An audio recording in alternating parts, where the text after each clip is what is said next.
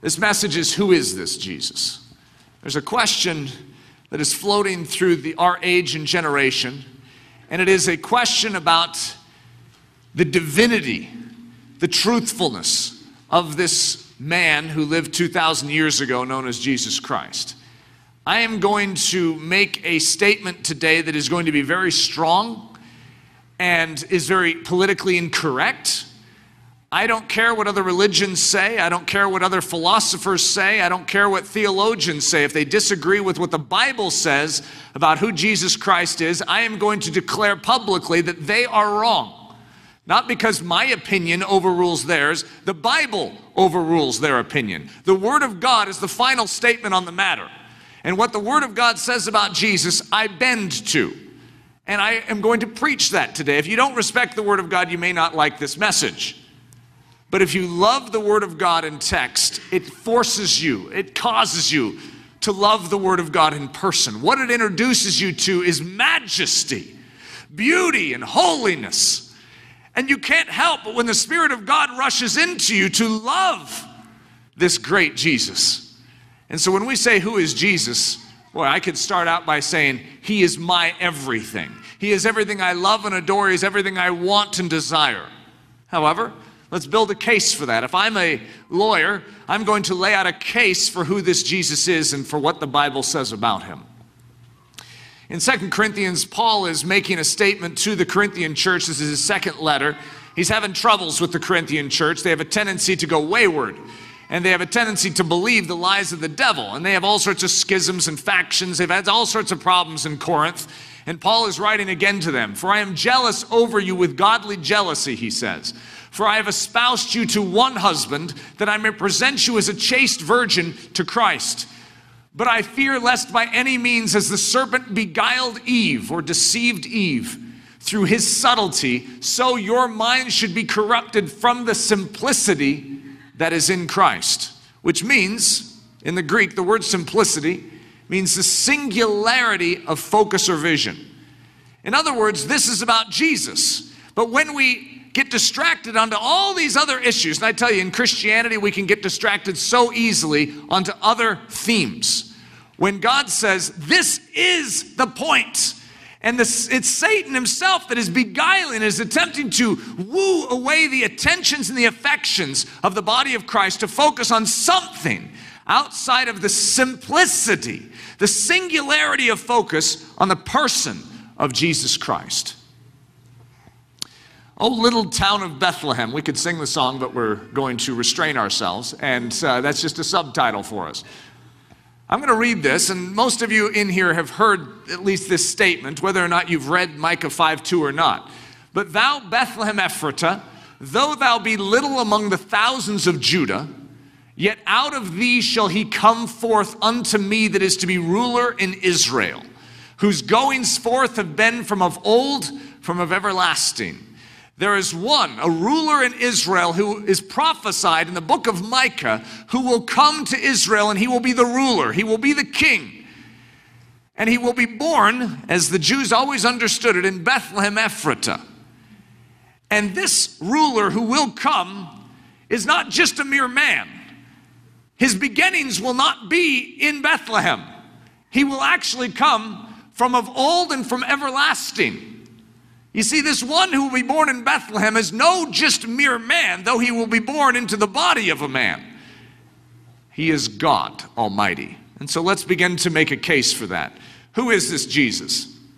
Well, the Bible declares that he's from of old, from everlasting.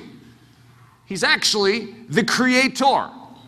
Now, there's been an argument in Christian history, and it's sponsored by the devil himself, and that is to diminish the godness of Jesus Christ. It's known as the Arian heresy. There was a man named Arius who spent a great deal of his energy attempting to diminish the godness of Jesus Christ.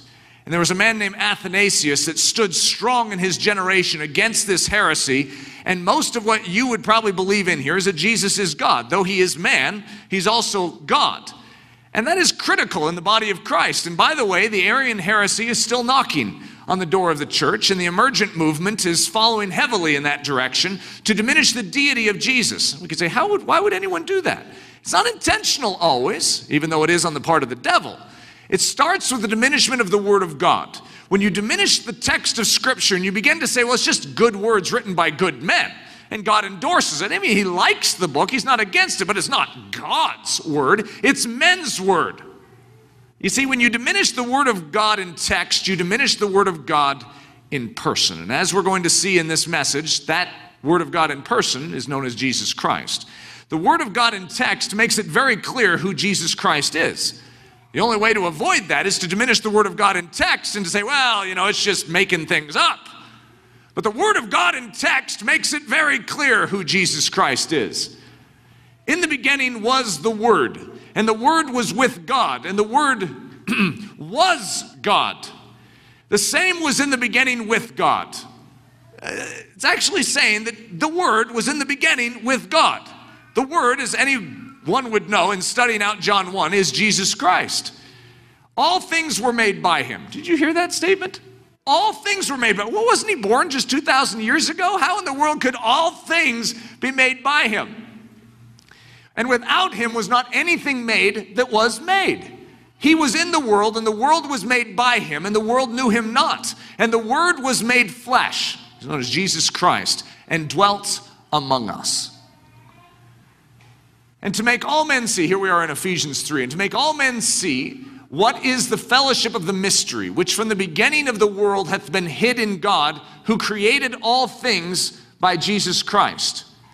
God created all things by Jesus Christ. Wasn't he just born 2,000 years ago? How in the world could God have made all things through him? That's a strange reality, unless Jesus is the creator. For by him, Jesus, listen to this, were all things created. What? What? What do you do with that?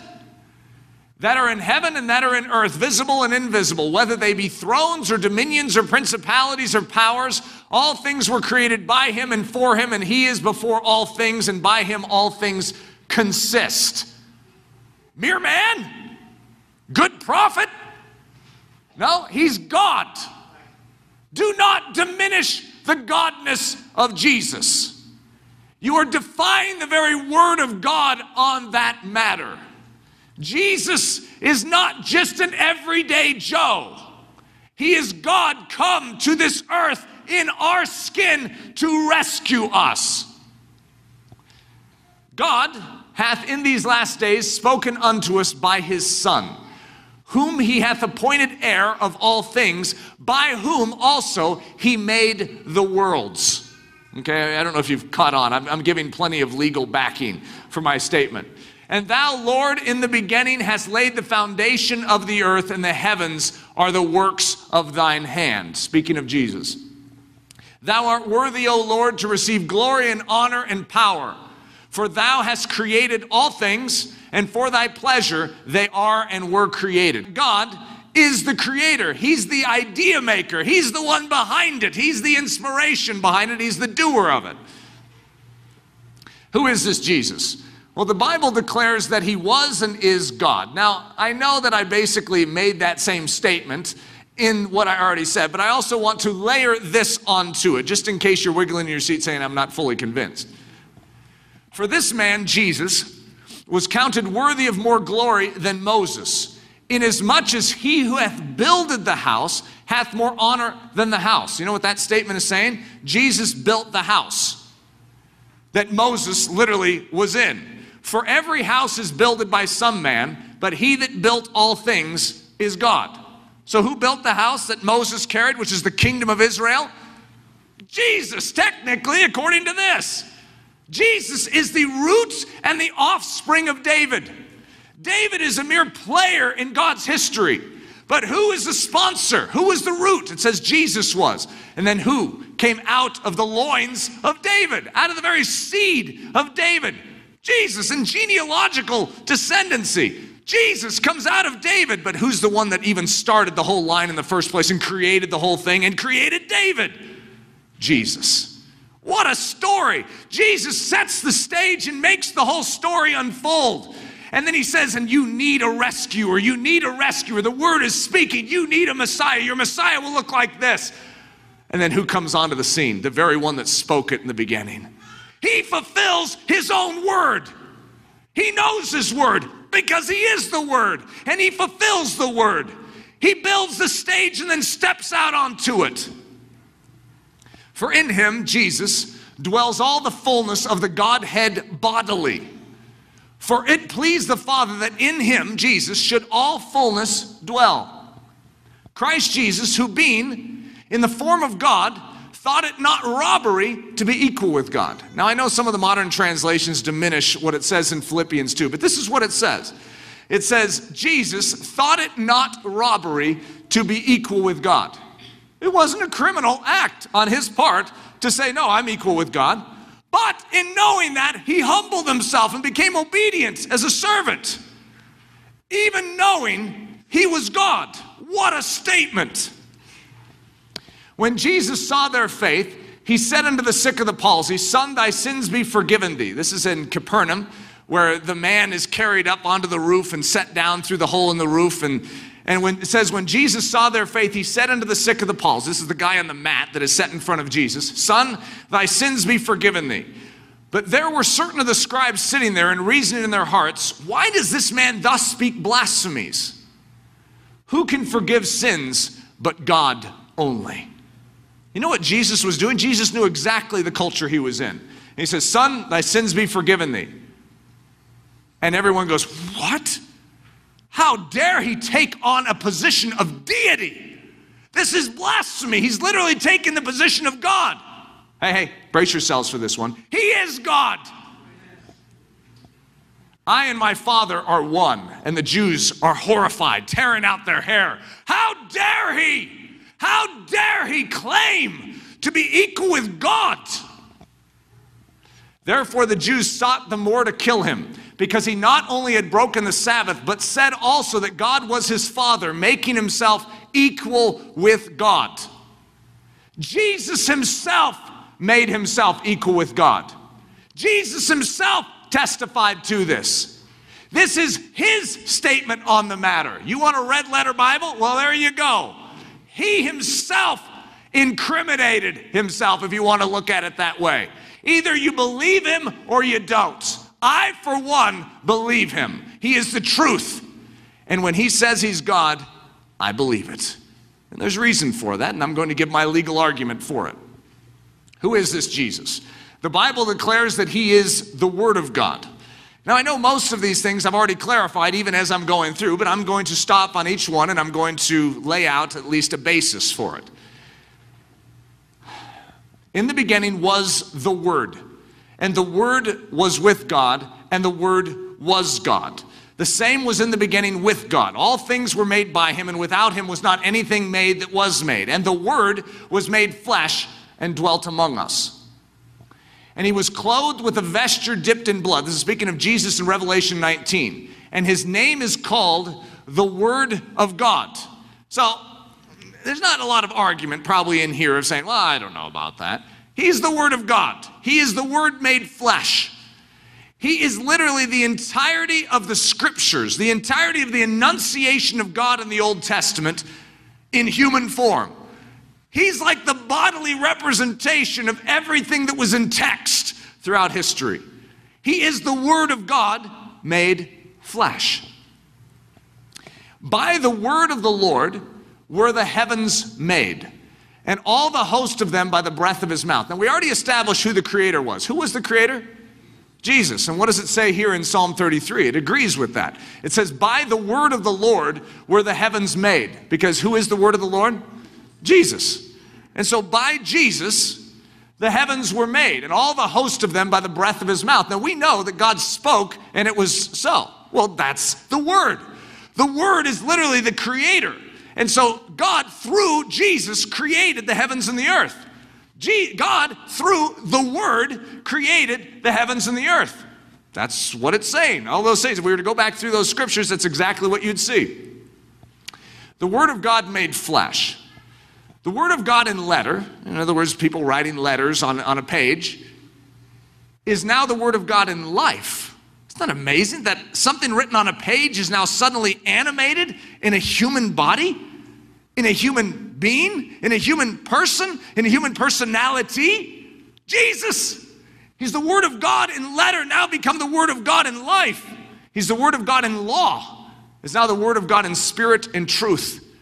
What was now what was once law is now actually spirit and truth.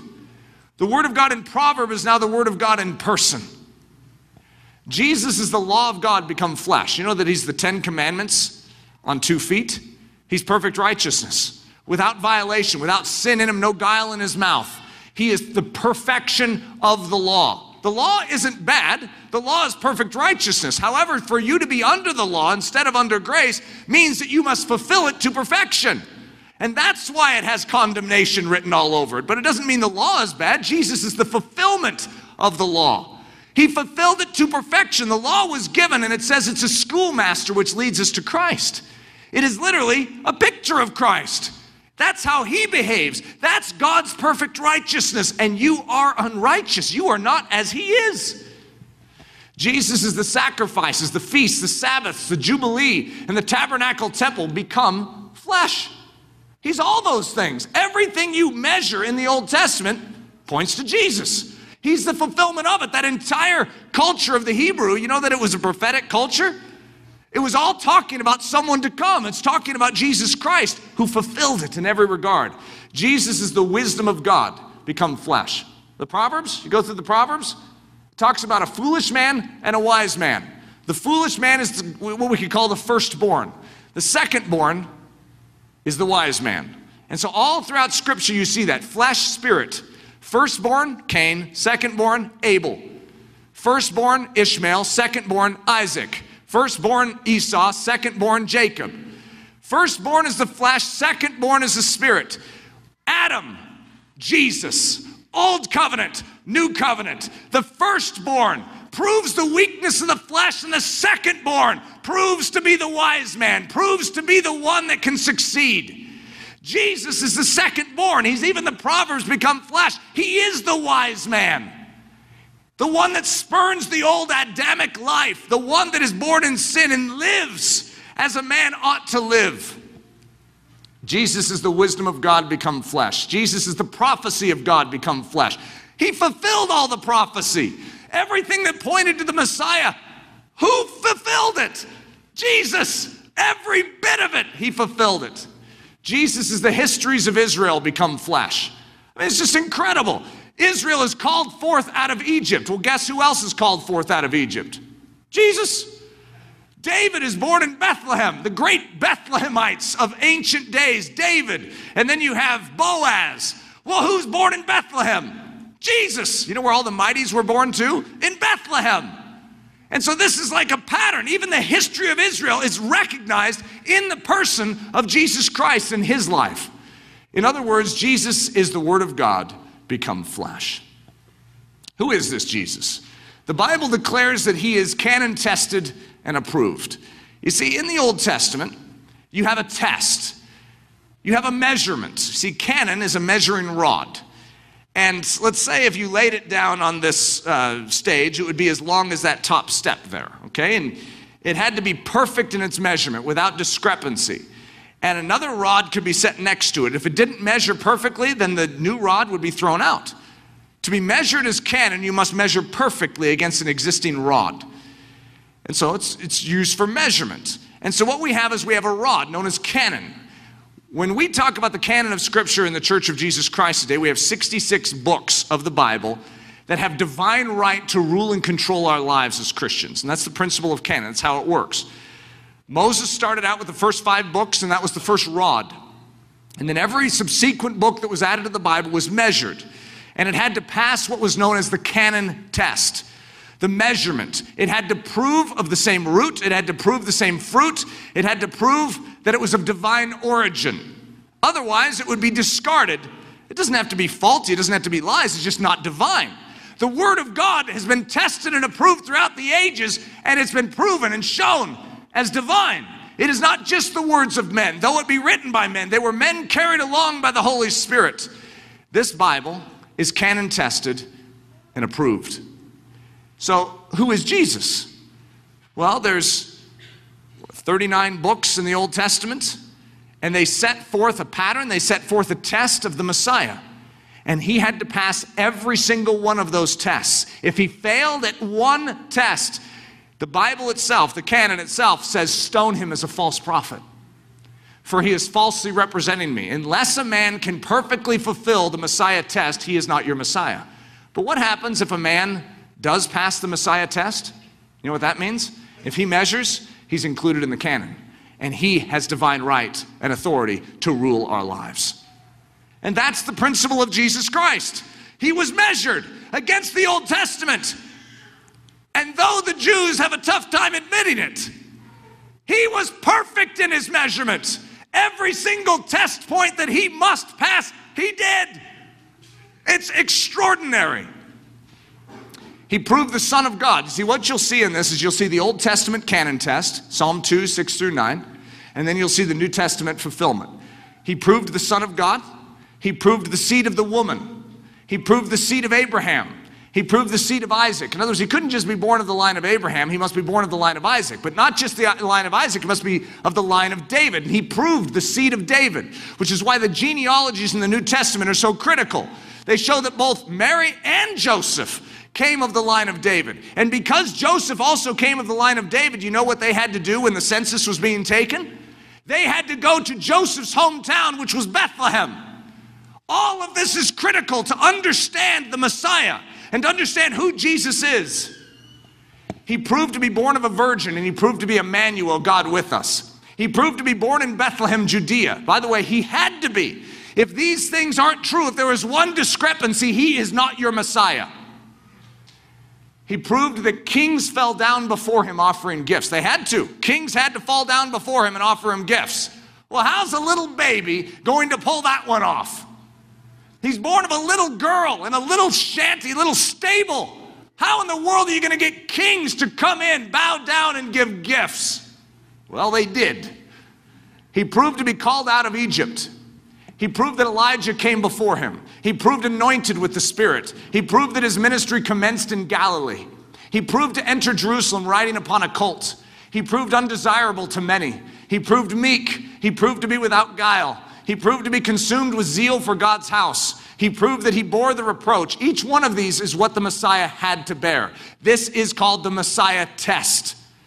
And if he doesn't bear this, if he can't pass this test, he's not your Messiah. But what if he does? What if he does pass this test? He's not just your Messiah, which to you know us Americans that means very little. Uh, what's a Messiah? That means he's canon. He has divine right to rule and control your life. He is King of kings and Lord of lords. And what he says goes. And if it disagrees with what you think, you're wrong. He's right. You submit and bend your knee and confess that he is Lord to the glory of God the Father. He proved that he bore the reproach. He had to be betrayed by a friend, and he proved it. He was betrayed by a friend. He proved that his sheep were scattered. When the shepherd was struck, the sheep had to be scattered. That was one of the proofs of the Messiah. And guess what? When the shepherd was struck, the sheep scattered. Again, a proof that he was the Messiah. I love this one. 21 is literally one of my favorites. He proved to be sold for 30 pieces of silver in the potter's field purchased with the money.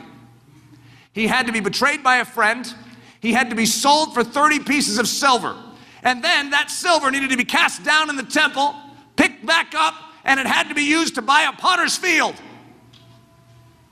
How is Jesus going to do that when he's pinned to two pieces of wood? How does he pull this off? This is miraculous. Even those that are crucifying him are fulfilling his messiahship.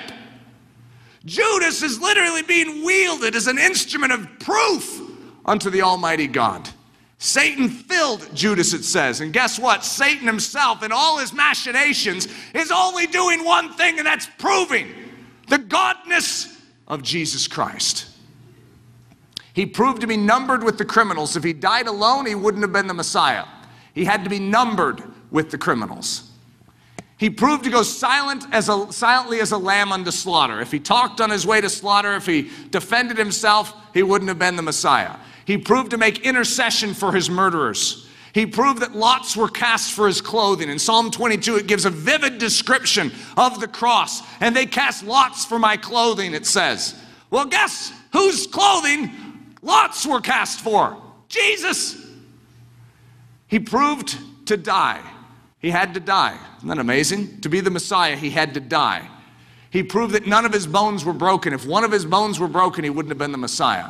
And in crucifixion, bones aren't necessarily broken in normal crucifixion. However, to hasten crucifixion, to quicken it, they break the legs, and that causes suffocation. But when the Roman soldier came up to Jesus to break his legs and thusly disprove his messiahship, by the way, the man noticed that he was already dead and instead pierced his side, which was that was the fulfillment of his messiahship, for he proved to be pierced. Isn't that amazing? It's a Roman soldier being controlled by Almighty God to demonstrate Jesus is dead. How can he have any more say in the matter? This is amazing. It's God's hallmark upon this man who is no mere man, he's God himself. He proved risen again from the dead on the third day. I don't know how many of you were able to pull that one off. He literally gives the sign of Jonah as the proof. Tear down this temple and I will rebuild it in three days. Just keep your mouth shut, Jesus. That's going to be very hard to pull off. You don't want to say something's going to get you stoned. No one's going to believe you. I mean, because how in the world is that going to happen? This is no mere man. He proved to have ascended. God also hath highly exalted him. See, this is after the flow of Philippians 2, where it talks about Jesus, who considered it not robbery to be equal with God. But he condescended and took on the form of a man, humbled himself in, in, unto obedience, and even obedience unto death. And get this death on a cross. He didn't just humble himself, he became a worm and no man. And it says, after he fulfills his canon test, after he showcases the messiahship, says God also has highly exalted him and given him a name which is above every name. That at the name of Jesus, every knee should bow of things in heaven and things in the earth and things under the earth, and that every tongue should confess that Jesus Christ is Lord to the glory of God the Father. He's canon, He has lordship, He has authority in the church of Jesus Christ which in his time he shall show who is the blessed and only potentate. I love potentate's not a typical word. It's like one of those ones that comes up once a year in like some Christmas carol. It's majesty, it's kingly authority, sovereignty. So, who is the blessed and only potentate, the King of kings and Lord of lords? Who is that only one? Who is the one that in his time will show? It's Jesus. These shall make war with the Lamb, and the Lamb shall overcome them, for he is Lord of lords and King of kings. And they that are with him are called and chosen and faithful. And he hath written his vesture, he has, hath written on his vesture and on his thigh a name written King of kings and Lord of lords. Oh, I love uh, Revelation 19. I mean, on his thigh is written King of kings and Lord of lords. Love it. So, how should we treat this king? The Bible's actually very clear on how you treat the word. It makes it, it, it actually gives enunciation and direction. This is the word of God, this is how you treat it. So if you know that Jesus is the word of God and he's the fulfillment of the word of God, doesn't it follow that the way we are commanded to treat the Word of God in text, we should also treat the Word of God in person? So here's what I have I have a list, and I'm going to give you the first line is going to be the way we are commanded to treat the Word of God in text. The next line is the extrapolation that says, so if that's true, this is how we treat the Word of God in person Jesus. The Word of God in text, in Isaiah 66, it says that we must tremble at it. The Word of God made flesh, tremble before Him. The Word of God in text, receive it with all readiness and search it daily. The Word of God made flesh, receive Him with all readiness and search His heart and mind daily in order to serve Him better and love Him more. The Word of God in text, receive it in much affliction. The Word of God made flesh, receive Him in much affliction. The Word of God in text, receive it as it is in truth, the Word of God. The Word of God made flesh, receive Him as He is in truth, God Himself. The Word of God in text, receive it gladly. The Word of God made flesh, receive Him gladly. The Word of God in text, keep it, follow it, bend to it, and revere it. The Word of God made flesh, keep Him in the center of your heart, follow Him, bend to His way, and revere Him. The Word of God in text, treat it as precious. The Word of God made flesh, treat Him as precious. The Word of God in text, let it always reside in your tongue. The Word of God made flesh, let the singular message of Jesus and Him crucified always reside on your tongue. The Word of God in text, let it perform that which it promises. Let it build the temple. Let it be verified in your life. Let it bring you the rest of God. The Word of God made flesh, let Him perform that which He promises. Let Him build you into His temple. Let Him be verified in your life. Let Him bring you the rest of God. The Word of God in text, conform to its pattern for carrying the holy presence of God. The Word of God made flesh, bear the holy presence of God in the same manner He did. The Word of God in text, be always mindful of it. Abide in its reality, live in the shadow of its sublime truth. The Word of God made flesh, be always mindful of Him, abide in Him, and live in the shadow of His wings. The Word of God in text, praise it and trust it. The Word of God made flesh, praise Him and trust Him. The Word of God in text, publish it. The Word of God made flesh, publish His life by demonstrating His power at work in you. The Word of God in text, listen to it, heed its every utterance. The Word of God made flesh, listen to His voice, heed His every utterance. The Word of God in text, allow it to try your soul, purify your heart, and prune your life. The Word of God made flesh, allow Him to try your soul, purify your heart, and prune your life. The Word of God in text, hide it in your heart, cherish it in your innermost being, protect it as your most sacred possession. The Word of God made flesh, hide Him in your heart, cherish Him in your innermost being, protect Him as your most sacred possession. The Word of God in text, never forget it. The Word of God made flesh, never forget Him. The Word of God in text, be quickened by its power, its grace, its majesty. The Word of God made flesh. Be quickened by His power, His grace, and His majesty. The Word of God in text, allow it to be your strength. The Word of God made flesh, allow Him to be your strength. The Word of God in text, trust in it. The Word of God made flesh, trust in Him. The Word of God in text, hope in it. The Word of God made flesh, hope in Him.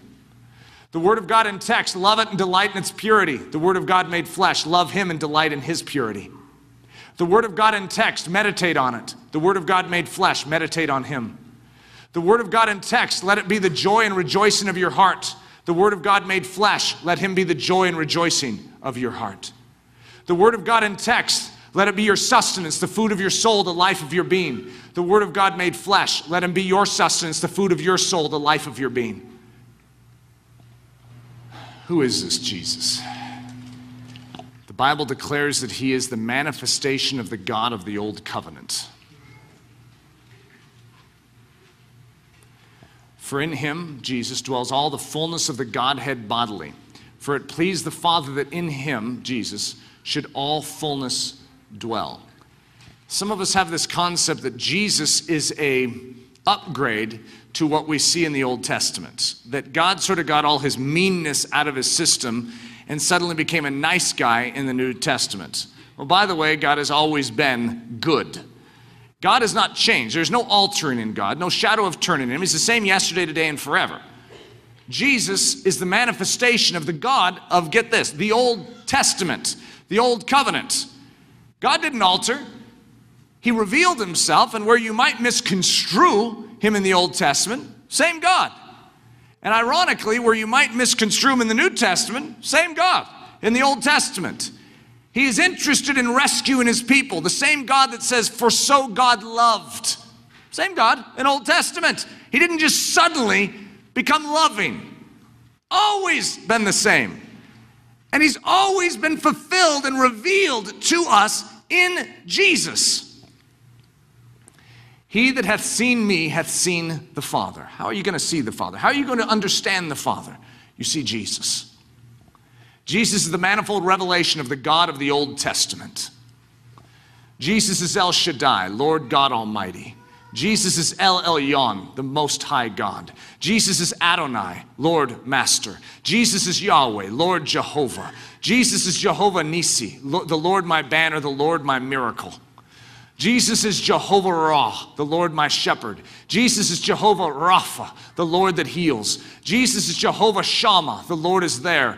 Jesus is Jehovah Sidkenu, the Lord our righteousness. Jesus is Jehovah Mekadeshikim, the Lord who sanctifies you, the Lord who makes you holy. Jesus is El Olam, the everlasting God, the God of eternity, the God of the universe, the God of ancient days. Jesus is Elohim, God, judge, creator. Jesus is Kana, jealous. Jesus is Jehovah Jireh. The Lord will provide. Jesus is Jehovah Shalom. The Lord is peace. Jesus is Jehovah Sabaoth, the Lord of hosts, the Lord of powers. Who is this Jesus? The Bible declares that He is over all, God forever, all powerful, and wholly sovereign. He's not a mere man, He's God Almighty. My God has measured the waters of this earth in the hollow of his hand, meted out the heavens with a span, comprehended the dust of the earth in a measure, weighed the mountains in scales and the hills in a balance. To him, the nations are as a drop in a bucket and are counted as a small dust of the balance. When he heads off to war, there are none that can stay his hand. He sits as king between the mighty cherubim, above all, over all, and in control of all. The creator of the heavens and the earth, God of all the kingdoms of this earth. He can bind the sweet influences of Pleiades and loose the bands of Orion. He can set the dominion of his ordinances in the earth. He can send forth lightning, number the clouds, and stay the bottles of heaven. He is the mighty God, the everlasting God, overall God blessed forever, the God of the whole earth. His throne is forever and ever. He is the Almighty, which is, which was, and which is to come, the creator of all things, the upholder of all things, the Father of eternity, the beginning and the ending, the Alpha and the Omega, the first and the last. He is the rock of ages, the head of every man, the head of all principality and power, Lord of lords, Lord both of the dead and living, Lord of all, Lord over all. He is the Prince of princes, the Prince of the kings of the earth. He that filleth all in all, the King of kings, the righteous judge, the King of saints, King of nations, King over all the earth, the King of glory, crowned with many crowns, and he sitteth King forever. Before him, all the inhabitants of the earth are reputed as nothing, and he does according to his will in the army of heaven. And among the inhabitants of the earth, and none can stay his hand or say unto him, What doest thou?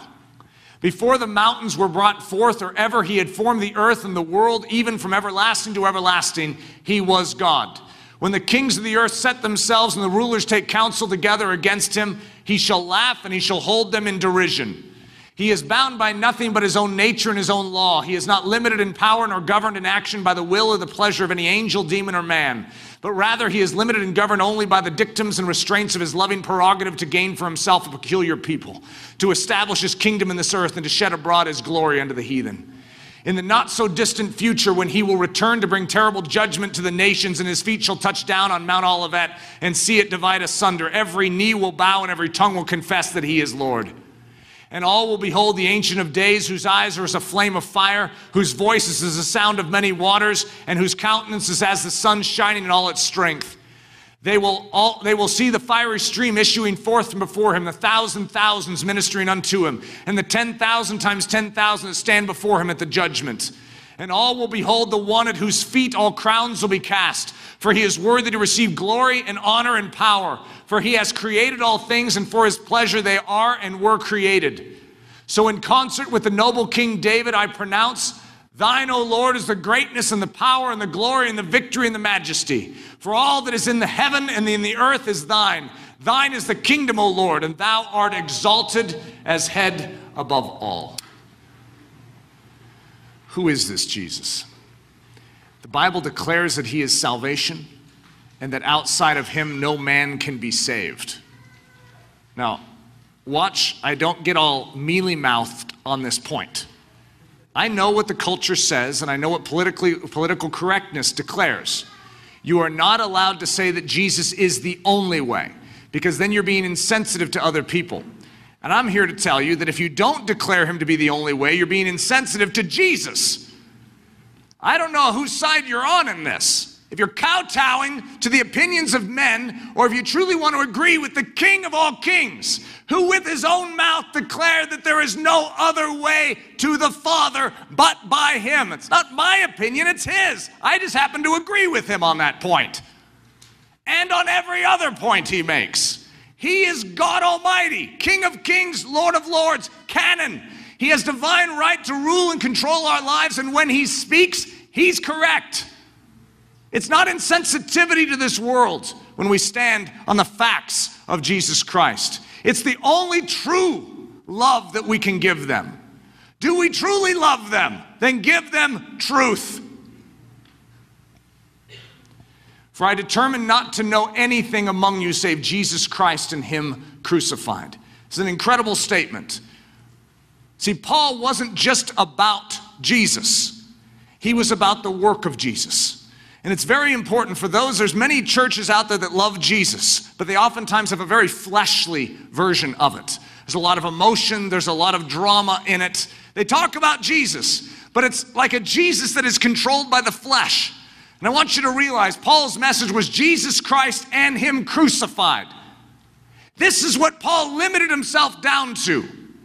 And he said, if you can get Jesus and you can understand the work of Jesus, then you have everything Jesus intended for you. You want to worship Jesus, then you must behold the cross. He came to this earth, He took on this form, God in the flesh, so that He could rescue you. And that rescue is found on the cross, and it's the only source of salvation, the only one. Jesus saith unto him, I am the way, the truth, and the life. No man comes unto the Father but by me. Neither is there salvation in any other, for there is none other name under heaven given among men whereby we must be saved. There's no other options here. There's Jesus and that cross. And that cross, when you behold it, is your salvation. Back in the times of Noah, there was one means of salvation, and it was known as an ark. And the door to the ark was open. And anyone that would enter into that ark would be saved. The judgment was coming. Jesus is like an ark, and the door is open. In fact, He is even the door. He is the way and the door. He is salvation. Salvation is a person. It's not a concept, it's not an idea, it's a person, and it's Jesus. He is the door and the way through that door. It's Jesus. And if you are in that ark when the rains come, then there is salvation, there is preservation, there is protection. But if you are outside that ark, then you do not have the benefits of the ark. The ark is built in such a way where it can preserve you from the falling rain, it can preserve you from the rising waters, it can cause you to float in the midst of judgment. And the same is true with Jesus Christ. Jesus is the only means of salvation, and we can find it nowhere else. And so Jesus says, I need you to get in me. It's a strange concept that we get in Christ Jesus. How do you get in something? Well, he describes his work on the cross as a robe of righteousness. And if we are clothed in that robe, then no longer are we going to be judged in accordance with our behavior and our sin. But we will now be seen in light in the Father, Father's presence with the righteousness, the purity, and the life of God Almighty Himself. We will be clothed in the purity and the guileless nature of Jesus Christ. And that is the only means of salvation. You must be in Christ Jesus. At the judgment day, when you make your appeal, if you turn to your good works and you dig in your pocket and say, Well, I think I have a few coins of good works here, well, that, this make it. There's only one thing that can truly offer you admittance into that heavenly kingdom, and that is Jesus Christ. You must be found in Him. You must be found in him. Wherefore he is able also to save them to the uttermost that come unto God by him, seeing he ever lives to make intercession for them. Jesus didn't just live 2,000 years ago. You know that he lives today? He didn't just live and rescue you 2,000 years ago. You know that that same rescuer ever lives to rescue you today? You know that he is ever ready to supply all of his merit, all of his virtue, all of his strength on your behalf today? You need help. Just acknowledge it and say, Jesus, I need you to exert your authority, your rescue for me today. You know that you need that every moment of your life? You must live in Christ. It doesn't do you a lot of good to get in the ark and then halfway through the flood poke your head out and jump into the water. You live and abide and remain in Christ, and that is salvation. That is life abundant.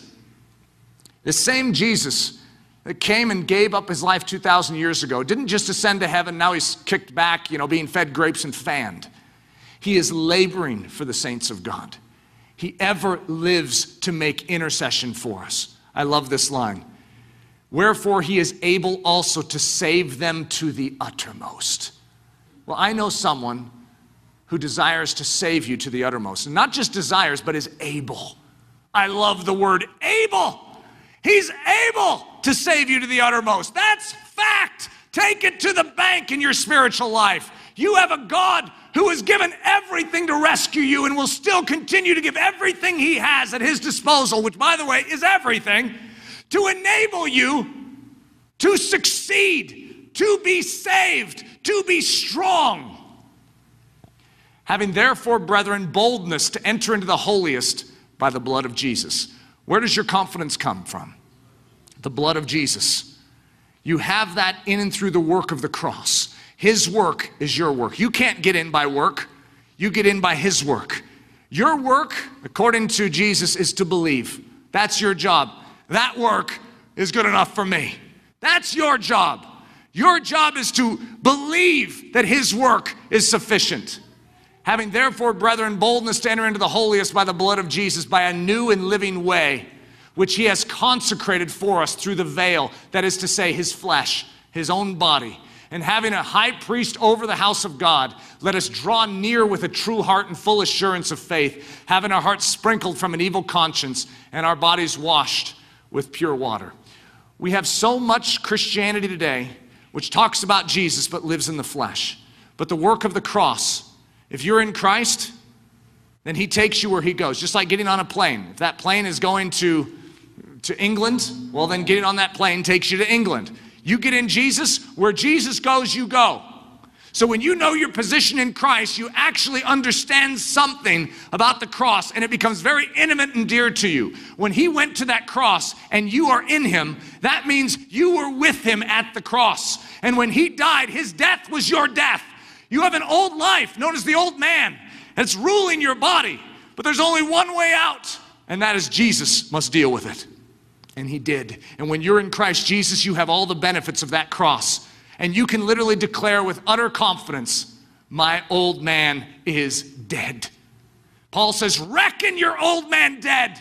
Reckon it. Take it. Stick it in your account. It's done. It was finished 2,000 years ago.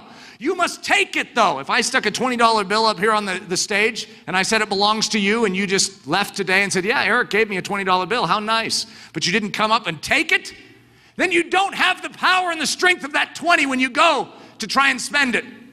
You need the actual strength and merit and virtue of the work of the cross, and you must reach out and take it. The old man was crucified with Christ. And when he was buried, your old behavior was buried. And when he rose again from the dead, you were raised into newness of life. And Paul says, Reckon yourself dead indeed unto sin, but alive unto God. Alive! How? In Christ. It's his work. You have been given a vehicle, a way to be saved, to be rescued, and to come alive. And his name is Jesus. And when he goes to the right hand of the Father and takes his seat of all authority, where are you? It says you're in him. And where he is, you are. You are seated with him in heavenly places in Christ Jesus. And his authority is now your authority. And there is nothing that pushes around the saints of God. We have the privilege of drawing near by the blood of Jesus to come into the most intimate quarter, to the literal heart of Almighty God.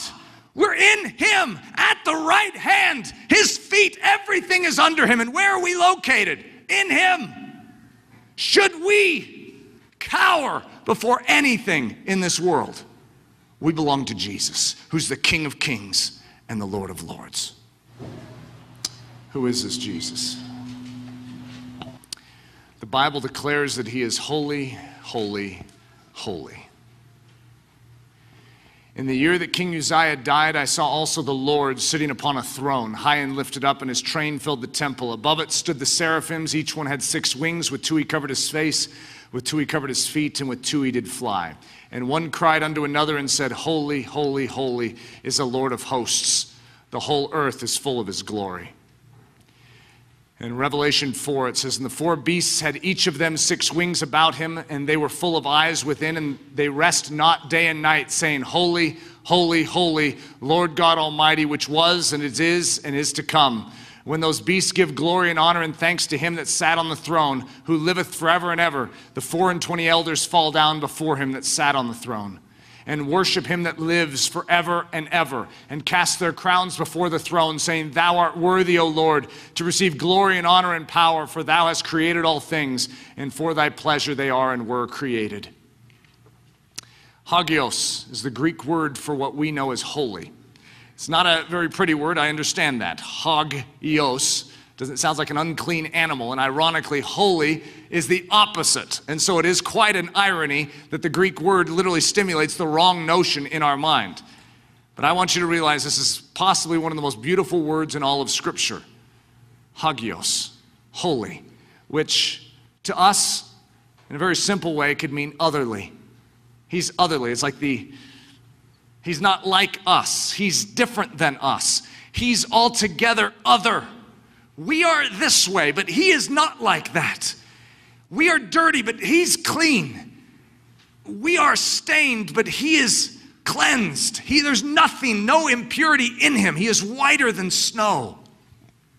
He is hagios.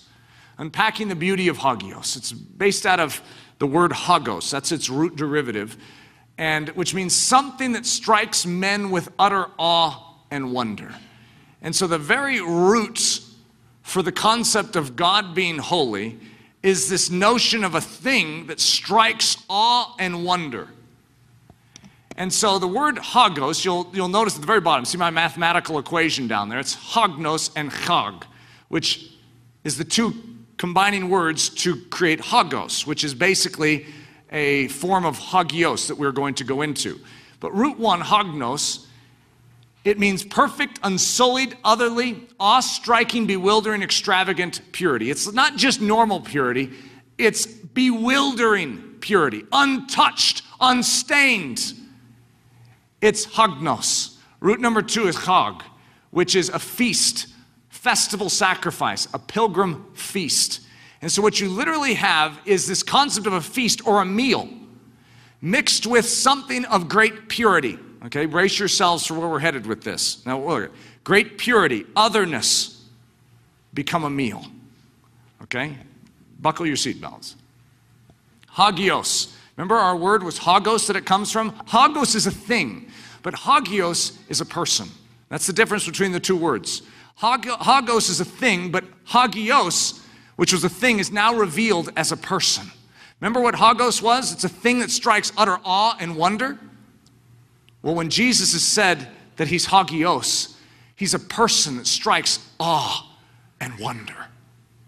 It's something that strikes men with utter awe and wonder. The, the something that, has, that strikes men with utter awe and wonder has come.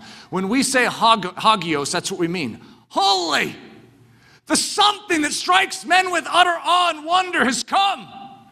His name is Jesus and he is hagios, hagios, hagios. Hagios, Hagios, Hagios, holy, holy, holy. We cry out in utter astonishment, struck with awe. For the perfect, unsullied, awe striking purity and otherness has himself become the food for the feast.